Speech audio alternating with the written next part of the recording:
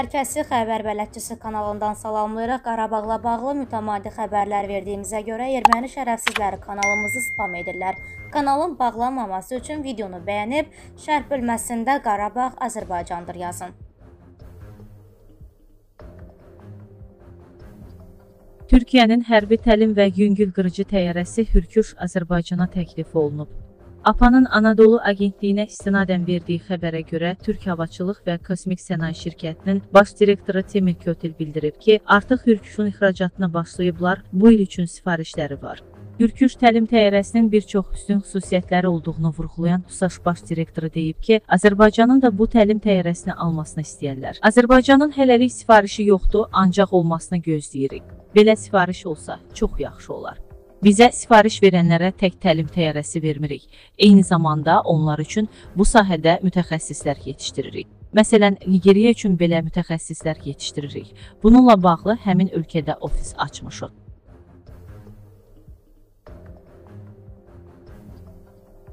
Rusiya ABŞ mədəniyyət, elm təhsil və media sahəsində əməkdaşlığa dair memorandumun ləğvi barədə xəbərdar edib. Kanal az xəbər verir ki, bunu Rusiya Xarici İşlər Nazirliyinin sözcüsü Mariya Zaxarova deyib. Bu memorandumun qorunub saxlanması sadəcə olaraq mənasını itirib.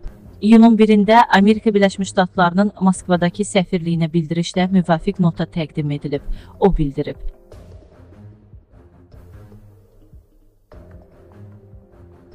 Rusiya minalardan təmizlənən Ukrayna limanları istiqamətində hücum etməyəcək. Axar az xəbər verir ki, bu sözləri Rusiya lideri Vladimir Putin deyib.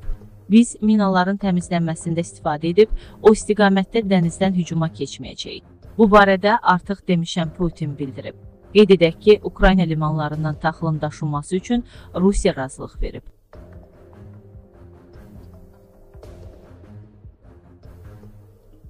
Ermənistanın Hakim Mülki Müqavilə Partiyası bugün sonuncu dəfə parlamentin növbədən kənar iclasının baş tutmasına imkan verməyib. Axar az xəbər verir ki, növbədən kənar iclasa Hakim Partiyanın deputatlarından yalnız parlament sədri Alen Simonyan qatılıb.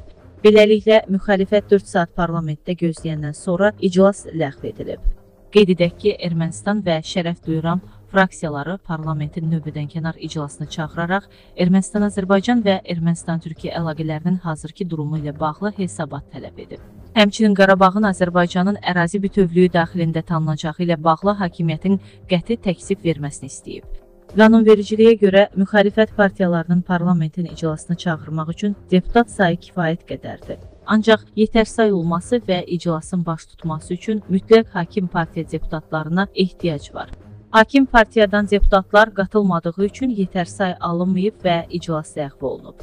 Parlamentdə qeyd-şərtsiz çoxluğa malik olan mülki müqavilə fraksiyası belə bir iclasın keçirilməsinə imkan verməyəcəyini əvvəlcədən elan etmişdi.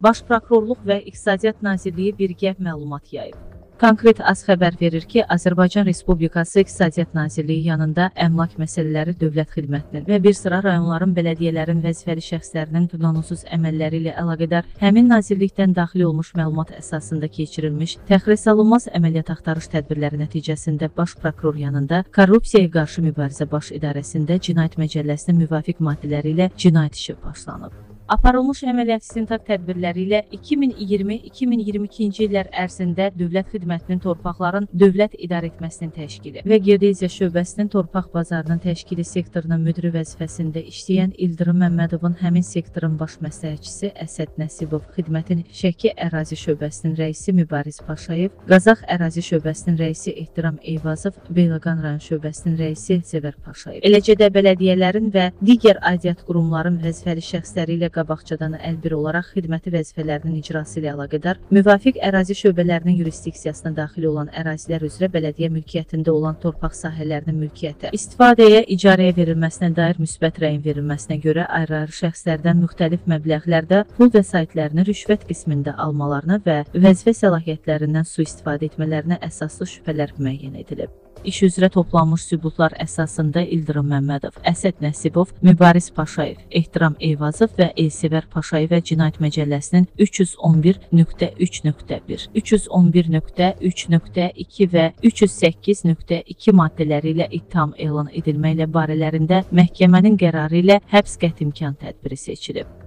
Hazırda cinayət işi üzrə bu və digər xüsusatların tam, hərtərəfli yoxlanılmaqla digər təqsirli şəxslərin müəyyənləşdirilərək məsuliyyətə cəlb edilmələri istiqamətində zəruri istintaq əməliyyat tədbirləri davam etdirilir.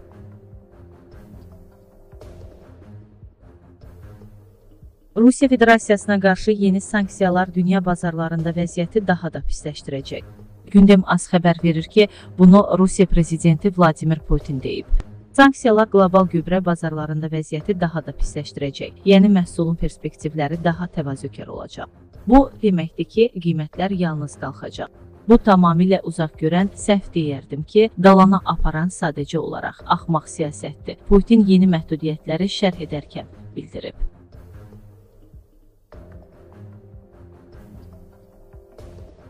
Rusiya separatçıların dili ilə mesaj verməyə başladı. RIA Novosti niyə Beqlaryanın tribunasına çevrilib?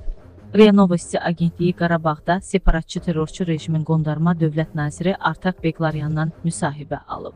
Separatçılara Rusiya Dövlət Agentliyində platformanın verilməsinin Moskvanın tapşırığı olduğu bəllidir. Gündəm az xəbər verir ki, bu sözləri siyasi ekspert Asif Nərimanlı deyib. Onun sözlərinə görə Beqlaryanın irəli sürdüyü iki fikir Rusiyaya məxsusdur və demək istədiklərini onların da dili ilə səsləndirirlər. Rusiya sülh məramlıları Qarabağda qeyri-müəyyən müddətə qalmalıdır. Avropa İttifaqı münaqişənin həllində iştirak etməməlidir. Məqsəd Qarabağdakı etnik erməniləri prosesdə de facto tərəf kimi legitimləşdirmək və Bakı-İrəvan danışıqlarına təsir rıçaqlarını genişləndirməkdir. Birincisi, Rusiya sülh məramlılarının bölgədə qeyri-müəyyən müddətdə qalmasını ermənilər istəyir mesajını verir. İkincisi, Brüsselə hüquqlarını qorumaq istədiyiniz etnik ermənilər Avropa İttifaqını yox, Rusiyanı istəyir mesajı ötürülür.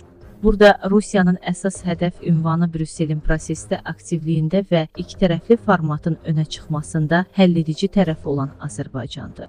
Moskva Cənubi Qafqazda 44 günlük müharibədən sonra Ukraynaya hücumdan əvvəl mövcud olan vəziyyəti qaytarmaq üçün Bakıya separatçıların legitimləşdirilməsi təzyiqini edir.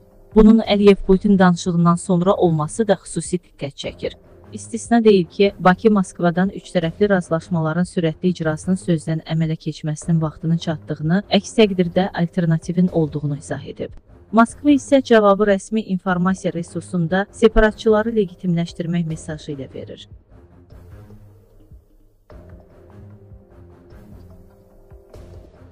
Bugün Azərbaycan, Rusiya və Ermənistanın baş nazir müavinlərindən ibarət üçtərəfli işçi qrupun görüşü baş tutacaq. Bu barədə Ermənistan baş nazirinin müavini Mihir Qriqoryanın ofisi məlumat yayıb. İclas Moskvada keçiriləcək.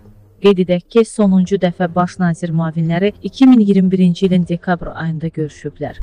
Məlum görüşə dair gözləntilərini gündəm azla bölüşən politoloq, Tolerantlıq Sosial Araşdırmalar Birliyinin sədri Azər Rəşidoğlu bildirib ki, Moskvada üç tərəfli görüşün keçirilməsi əslində Rusiyanın Brüssel görüşünə verdiyi cavabdır. Analitikin sözlərinə görə Moskva Zəngəzur dəhlizinin açılmasını və İrəvanı öz nüfuz dairəsinə qaytarmağa çalışır. 10 noyabr üç tərəfli bəyanatında sərhədlərin delimitasiyası və demarkasiyası sülh müqaviləsinin bağlanmasında Azərbaycanın razılığı və yeni kommunikasiya dəhlizinin açılması ilə bağlı məqamlar var.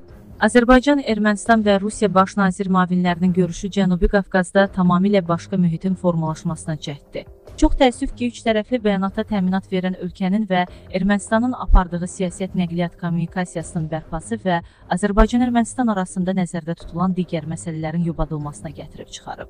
Bütün kommunikasiya xətlərinin eyni anda açılması məsələsi aktuallaşır.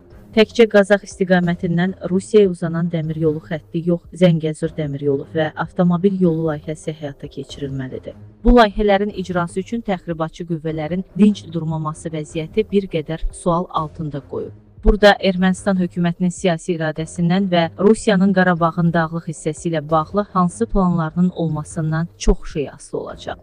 Təbii ki, Azərbaycanın ayrı-ayrı ölkələrin istəklərindən xəbəri var. Hər halda maraqların uzlaşması, təxribatların sona çatması lazımdır. İndi əsas məsələ üç tərəfli bəyanatda yer alan kommunikasiya xətləri ilə bağlı siyasi iradə ortaya qoymaqdır.